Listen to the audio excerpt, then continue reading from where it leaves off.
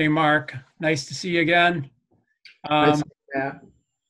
um, I, you know, based on what we talked about recently, it sounded like you had a good online class, and I just thought it would be great to hear more about how that went and get your thoughts. So maybe tell me a little bit about the online class and and kind of what happened.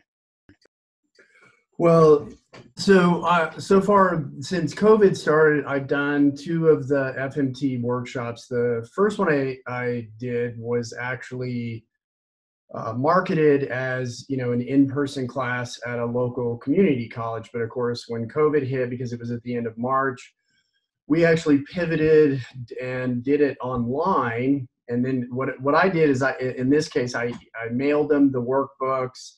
In fact, I think uh, my assistant actually had delivered some of them because some people signed up the same day. But we had 22 people sign up, 22 people attended the webinar. And um, I believe out of that, we probably got 80%, 85% of those people as appointments. So it, it was a very, uh, for my area, I'm in Castle Rock, Colorado, and typically it's response rates to mailings and seminars and those sorts of things is, is typically pretty low.